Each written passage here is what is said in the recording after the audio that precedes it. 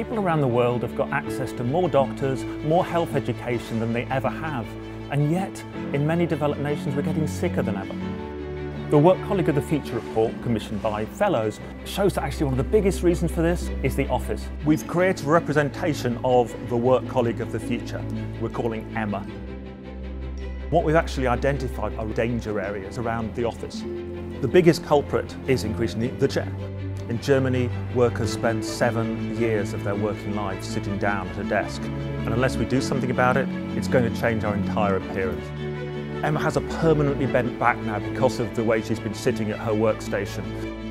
The muscles in her legs are much weaker. Uh, she has varicose veins because of blood flow, which is not as good as it was. Her eyes are redder, again because of the quality of the air. She has more nose hair, more ear hair, she has a swollen nose is much more stressed, so therefore we'll see the stress-related eczema on her arms. And also Emma has kind of a sallow skin because she's been in artificial light for so many years. Workplace well-being and our sedentary lifestyles are having a major negative impact. If we're going to do anything about it, employers and employees both need to take some responsibility. We need to spend less time staring at a screen. We need to take more regular breaks. We need to get up. We need to do less of what I'm doing now and more walking around.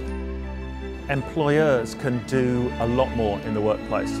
If they can design buildings so that there are actually more spaces for people to take breaks in, if there are different types of desks, different types of workstations, we need to encourage more walk and talk meetings. But if we keep doing the same things, we could have problems as bad in the workplace as we thought we'd left behind in the last industrial revolution. It's too late for Emma. A lot of the problems she has are permanent. But employees who are working now can do a lot to improve their lives.